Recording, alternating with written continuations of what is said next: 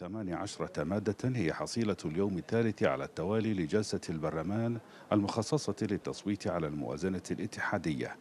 المادة الرابعة عشرة كانت من بين الفقرات المصوت عليها والتي ظلت إلى جانب المادة الثالثة عشرة مدار خلاف بين الكتلة الديمقراطية الكردستاني وبقية الكتل السياسية. هناك اتجاهين أو آه، خلينا نقول جبهتين جبهة اتحاد الأحزاب الحاكمة البارتي والحزب الديمقراطي والاتحاد الوطني. والأحزاب المعارضة، نحن كحراك جيل الجديد مع تضمين آه، قانون الموازنة لمستحقات أو مدخرات آه، موظفي إقليم الكردستاني التي تم آه، إدخارها اجباريا من عام 1900 2014 ولحد الآن، لكن الحزبين يبدو إنه اتفقا على عدم دفع هاي الاستحقاقات. حتى الآن تعامل البرلمان مع مواد الموازنة وصولا إلى المادة الحادية والأربعين من أصل 67 قبل أن يرفع جلسته.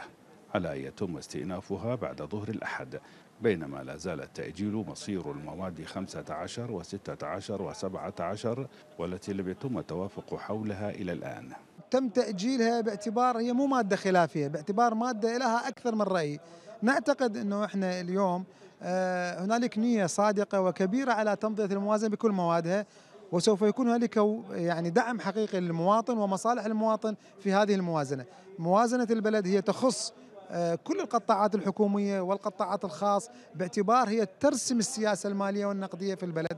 آه، سوف تمضي اليوم جميع المواد بالتصويت أو عدم التصويت. جلسة السبت شهدت حضور 241 نائبا قبل أن تتوقف مؤقتا للتفاوض مع الكتل السياسية.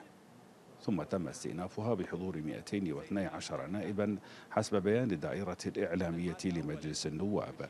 ويتوقع نواب أن استئناف الجلسة هذا اليوم سيمكن البرلمان من إكمال التصويت على ما تبقى من مواد الموازنة دون الحاجة إلى مزيد من التأجيل. ضياء محمد الحرة بغداد.